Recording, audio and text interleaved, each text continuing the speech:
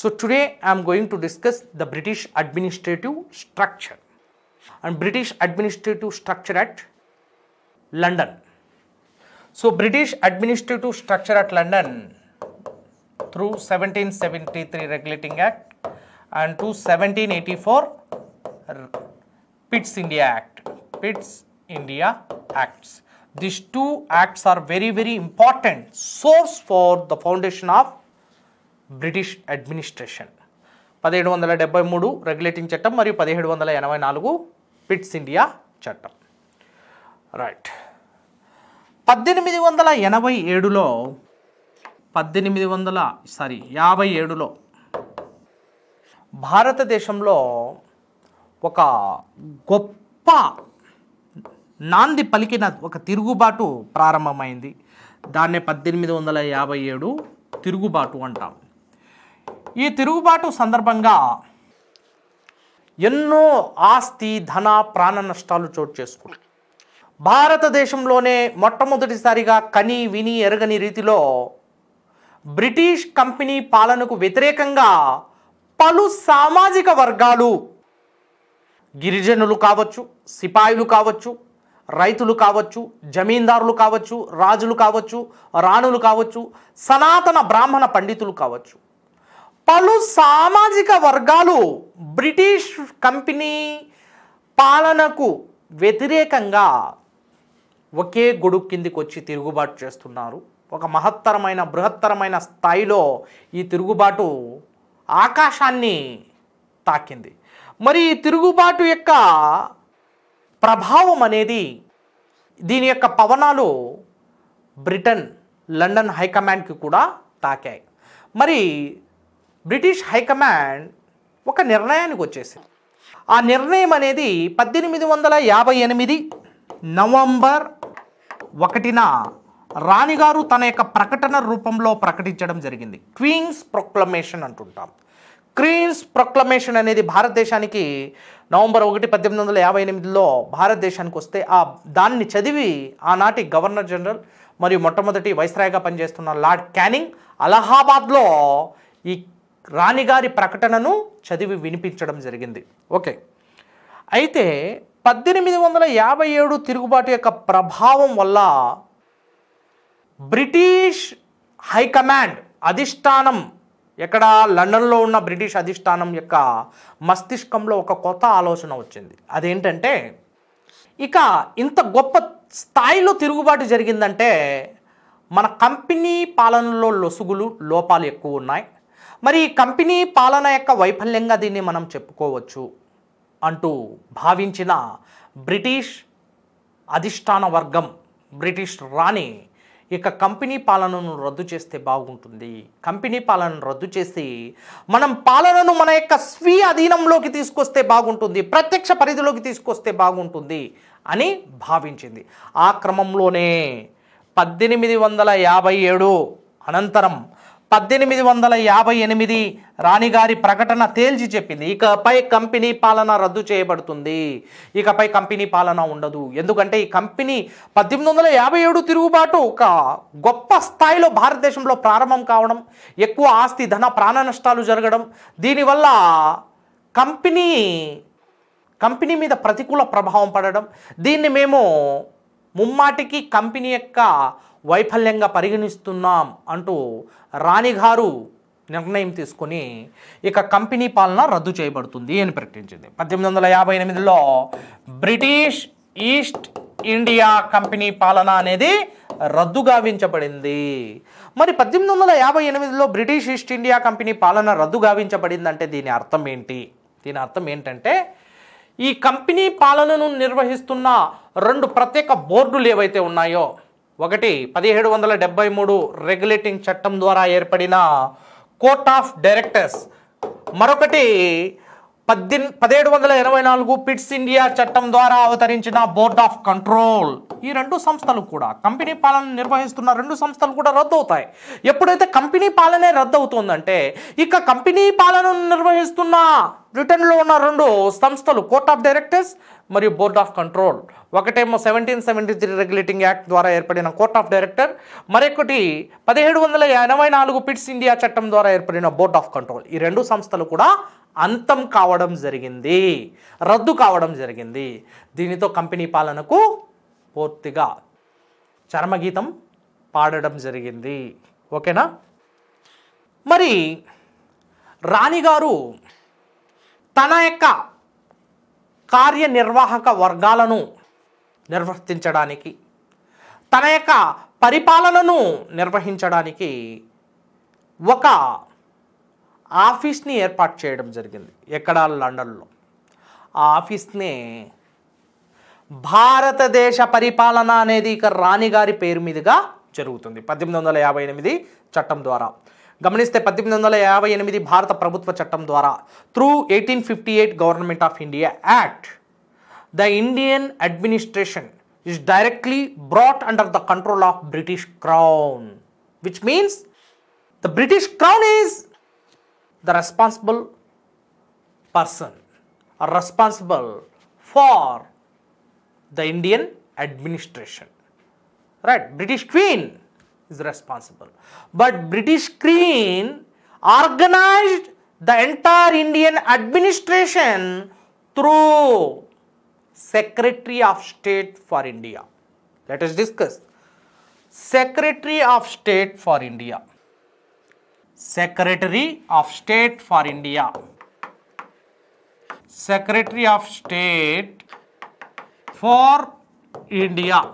A new designation was created in London to monitor Indian administration on behalf of the British Queen or British Crown.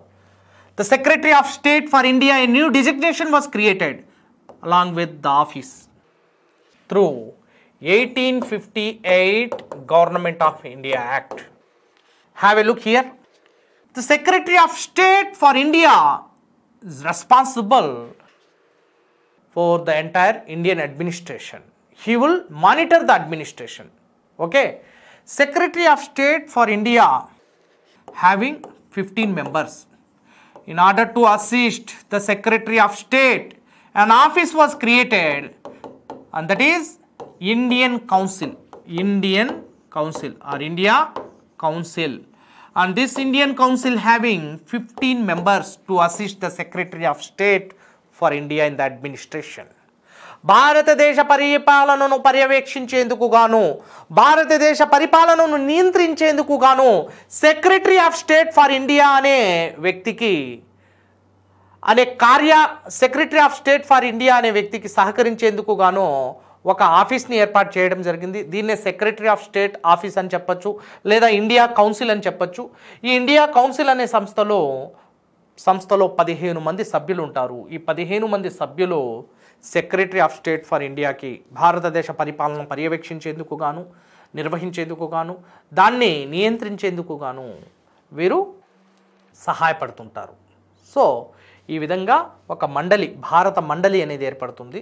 ఇందులో పదిహేను మంది సభ్యులు ఉంటారు secretary of state భారత రాజ్య కార్యదర్శి అంటాం దీన్ని. తెలుగు ఇన్ తెలుగు భారత రాజ్య కార్యదర్శి భారత రాజ్య కార్యదర్శి లండన్ నుంచి భారతదేశ పరిపాలనను సజావుగా సాగిస్తూ దాన్ని నిర్వహిస్తూ దాన్ని నియంత్రిస్తూ దాన్ని the first source of British administration in India is 1773 Regulating Act which regulates the company administration in India, the British administration in India, the structure at India. Let us discuss the structure at India. British యొక్క పరిపాలన స్వరూపం భారతదేశంలో ఎలా ఉంది ఏంటి అనే విషయానికి వస్తే బ్రిటిష్ వారి యొక్క పరిపాలనా స్వరూపం భారతదేశంలో ఎలా ప్రారంభమవుతుంది రైట్ ఏ విధంగా ప్రారంభమవుతుందని గమనిస్తే జాగ్రత్తగా పరిశీలించండి ఇక్కడ. ఎగ్జిక్యూటివ్ లెజిస్లేటివ్ మరియు జ్యుడిషియల్ అనే మూడు భాగాల్లో మనం చెప్పుకోవచ్చు. మరి ఫస్ట్ మనం ఎగ్జిక్యూటివ్ గురించి చర్చించుకుందాం. రైట్ సో వీటి గురించి మనం గత క్లాస్లో గత ఎపిసోడ్లో మనం వివరించుకున్నాం. ఎగ్జిక్యూటివ్ యొక్క ఫంక్షన్స్ ఏంటి? లెజిస్లేషన్ యొక్క లెజిస్లేటివ్ బాడీ యొక్క ఫంక్షన్స్ ఏంటి? అదేవిధంగా జ్యుడిషియరీ జ్యుడిషియల్ బ్రాంచ్ యొక్క ఫంక్షన్స్. వీటన్నిటి గురించి చర్చించుకున్నాం. నెక్స్ట్ ఈ ఎగ్జిక్యూటివ్ బ్రాంచ్ భారతదేశంలో ఏ విధంగా ప్రారంభమైంది? దాని యొక్క స్వరూపం ఏంటి అనేది చర్చించుకుందాం. అదేవిధంగా లెజిస్లేటివ్ బ్రాంచ్ యొక్క స్వరూపం ఏంటి? మరి జ్యుడిషియల్ బ్రాంచ్ యొక్క స్వరూపం ఏంటి అనేది మనం ఈ క్లాస్లో చర్చించుకుంటున్నాం. Have a look here executive అంటే అసలు సిసలైన తెలుగులో కార్యనిర్వాహక శాఖ అంటాం. కార్యనిర్వాహక శాఖ. గమనించండి. మనం మళ్ళీ బ్రిటిష్ వారి రాక వారి యొక్క వ్యూహాత్మక స్థావరాల్లో స్థావరాల గురించి మనం చర్చించుకోవాల్సిన అవసరం ఉంటుంది ఇక్కడ. ఇక్కడ మీరు గమనిస్తే బ్రిటిష్ వారు unlike the other Europeans British came with a different strategy and they established three headquarters each at Bombay Calcutta and Madras. Bombay ప్రాంతంలో కావచ్చు కాల్కట్టాలో కావచ్చు అదేవిధంగా మద్రాస్ ప్రాంతంలో. మూడు స్థావరాలను ఏర్పాటు చేసుకున్నారు ద్వీపకల్ప భారతదేశంలో ఇండియన్ పెనిన్సులా అంటుంటాం. ఈ ద్వీపకల్ప భారతదేశంలో రైట్ పశ్చిమం వైపు west Bombay in the west next Calcutta in the east and Madras in the south. ఈ విధంగా సౌత్లో మద్రాస్ వెస్ట్లో బాంబే మరియు ఈస్ట్లో క్యాల్కటా ఈస్ట్లో క్యాల్కటా సౌత్లో Madras. Madras in the south.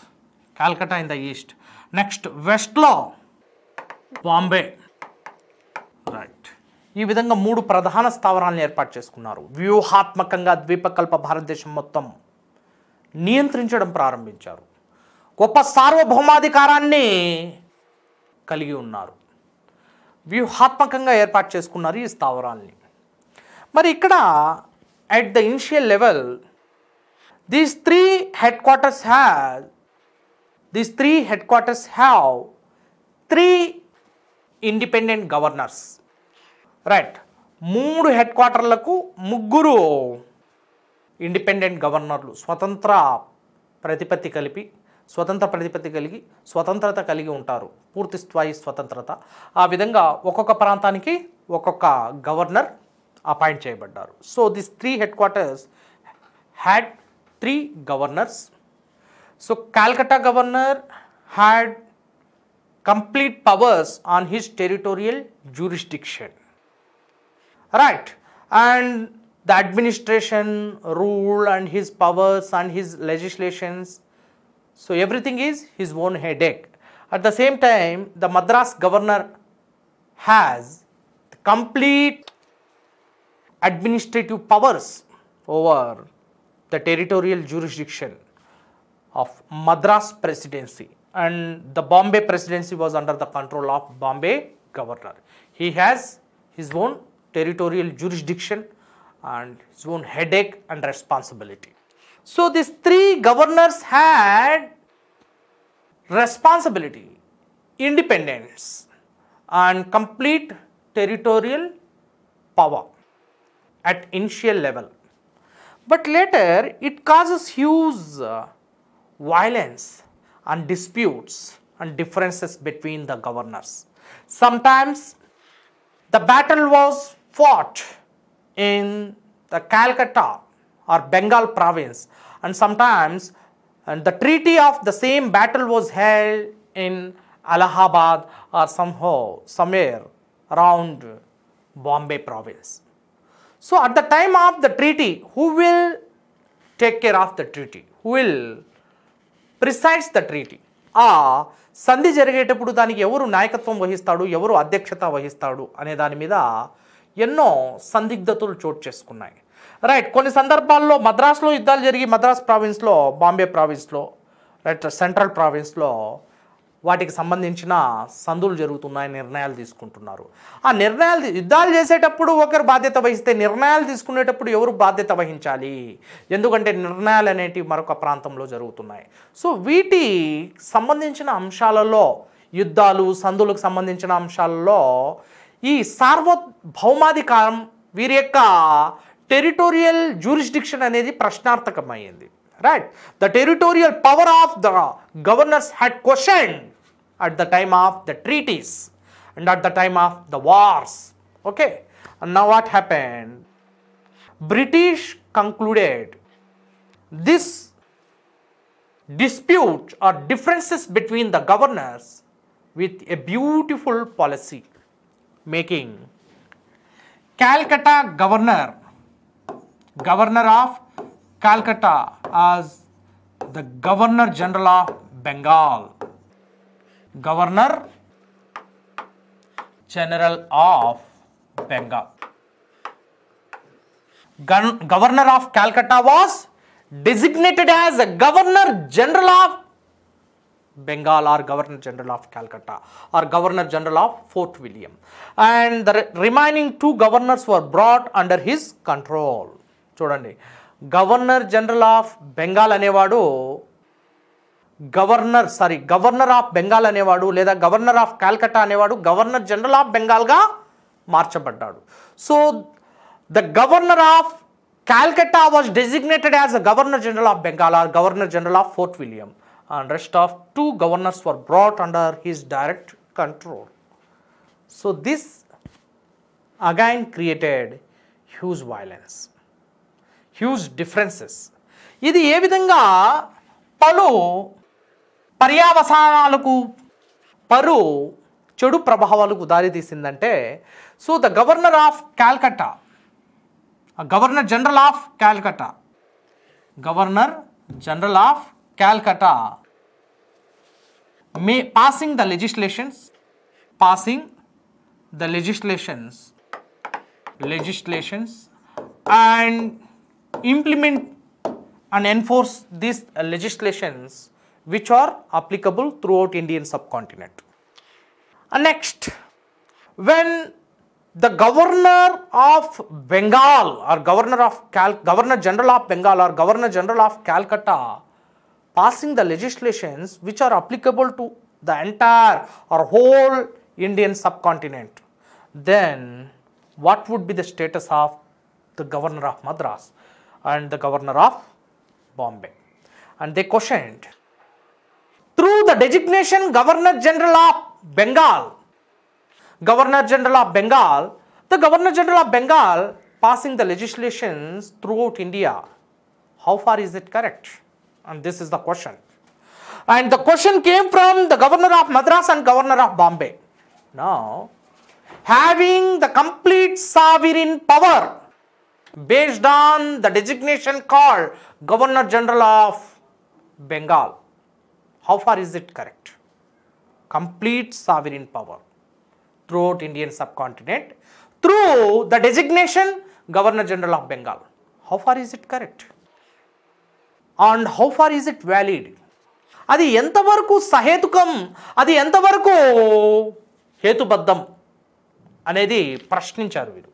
Governor general of Bengal అనే పేరు పెట్టుకొని భారతదేశం మొత్తం బెంగాల్ సరిహద్దుల్ని దాటి beyond the boundaries of Bengal భారతదేశం మొత్తం దీన్ని తీసుకురావడం అనేది అది ఎంతవరకు సహేతుకం అనే ప్రశ్న ఎవరి మస్తిష్కంలో ప్రారంభమైంది? బాంబే గవర్నర్ మరియు మద్రాస్ గవర్నర్. నా what happened first through seventeen seventy three regulating act governor of Calcutta or governor of Bengal was designated as governor general of Bengal next in order to avoid the differences in the year eighteen hundred and thirty three the governor general of bengal was designated as governor general of india. See here. Governor general of Bengal అనే పదవి పెట్టుకొని భారతదేశం మొత్తం విస్తరించే శాసనాలు ఎలా చేయగలుగుతాడు? అది ఎంతవరకు సబబు అంటూ ప్రశ్నించిన ఈ ప్రశ్నలకు సమాధానమే పద్దెనిమిది వందల ఎనభై మూడు గవర్నర్ జనరల్ ఆఫ్ ఇండియా అనే పదవిని సృష్టించడం. Thus the governor general of Bengal was change to the governor general of India So, who was the first Governor General of Bengal? Hmm. Warren Hastings. Warren Hastings was the first Governor General of Bengal. And who was the first Governor General of India? William Bentinck in the year 1833. William Bentinck was the first Governor General of India. Okay. And next, after the 1857 revolt, the post uh, 1857 revolt the british government took the complete indian administration under her control and later british crown or british queen Victoria Queen declared that the Viceroy, Viceroy, a new position or a new designation was created to monitor and to organize the Indian administration. Thus, the Viceroy, Viceroy అనే పదవిని పద్దెనిమిది వందల యాభై ఎనిమిదిలో యాభై ఏడు తిరుగుబాటు అనంతరం రాణిగారి చేతుల్లోకి భారతదేశ పరిపాలన వెళ్తోంది భారతదేశ పరిపాలన రాణిగారి చేతుల్లోకి ఎప్పుడైతే వెళ్ళిందో ఇక వెంటనే రాణిగారు తమ యొక్క ప్రతినిధిగా వైస్రా మీన్స్ ప్రతినిధి royal representative of queen royal representative రాజ ప్రతినిధి.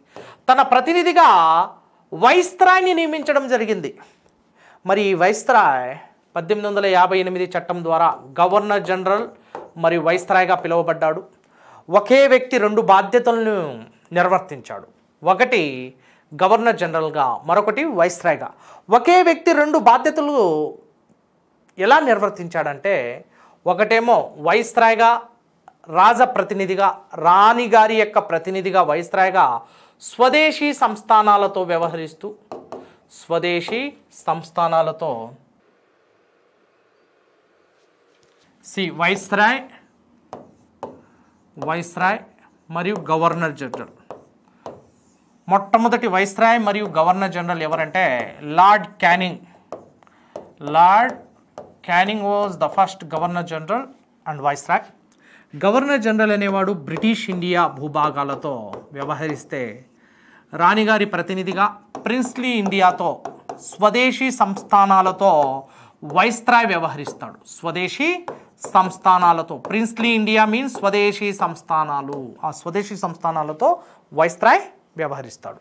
So one person should have two designation viceroy and governor general viceroy deals with the princely states while the governor general deals with the British India అంటే భారతదేశంలో British ఆక్రమించిన British వారు ఆక్రమించిన యాభై శాతం భూభాగాలను British India అంటున్నాం. వాటితో వ్యవహరించే వ్యక్తినే గవర్నర్ జనరల్ అంటున్నాం. పద్దెనిమిది వందల యాభై ఎనిమిది నుంచి పద్దెనిమిది వందల యాభై ఎనిమిది గవర్నమెంట్ ఆఫ్ ఇండియా యాక్ట్ భారత ప్రభుత్వ చట్టం ద్వారా.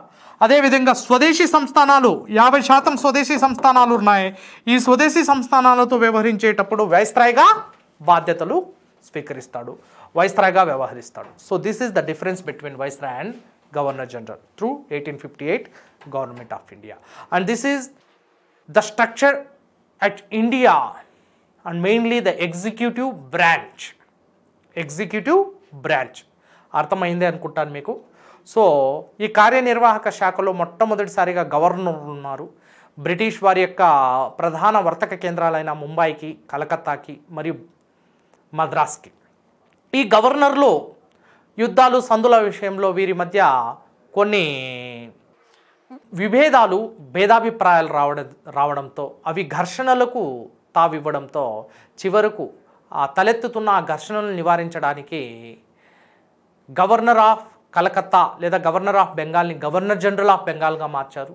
మరి ఈ గవర్నర్ జనరల్ ఆఫ్ బెంగాల్ అనే పేరుతో ఇక భారతదేశం మొత్తం వ్యాపించే శాసనాలు చేయడం మొదలుపెట్టాడు.